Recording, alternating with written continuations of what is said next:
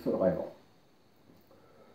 Meine Mutter ist jetzt umgezogen und Küche muss unter Tischgerät angeschlossen werden. Und das mache ich. Und dann wollte ich mal zeigen, wie das geht.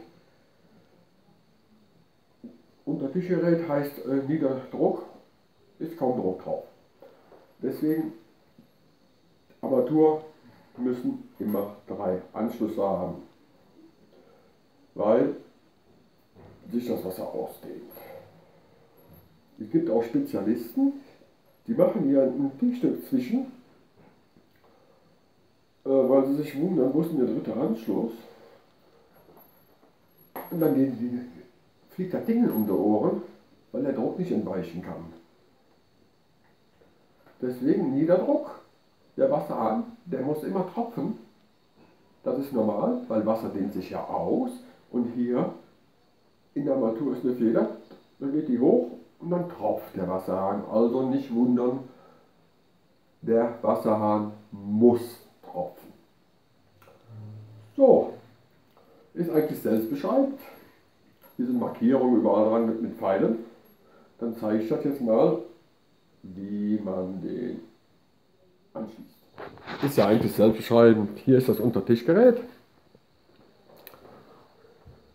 Von oben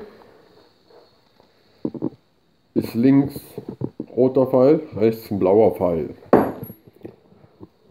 Und was ist hier an der Armatur? Auf der Seite, wo der rote Pfeil ist, kommt, der wird hier angeschlossen. Wasser rein, ist da auch. Und hier, blauer Pfeil, kommt hier rein.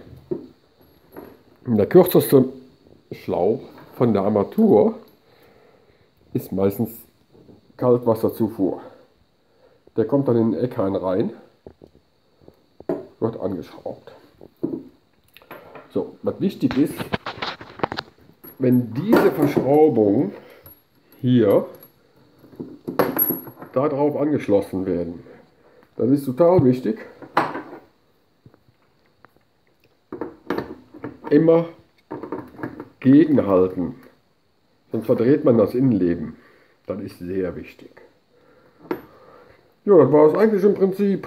Und dran denken, Wasserhahn muss tropfen, der ist nicht kaputt, weil sich das Wasser äh, ausdehnt.